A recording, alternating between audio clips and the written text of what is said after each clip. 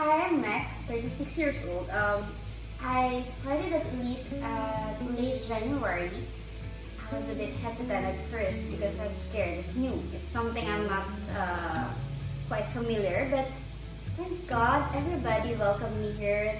They tried to calm me down, they explained everything, and then uh, there I started it. Um, to be honest, it was uh, very weird because they tried to get to know me first, which is uh, much better because at the end of the day, they send me a specially designed uh, diet plan and physiotherapy and uh, workouts, which suits my needs and uh, what is I'm comfortable with.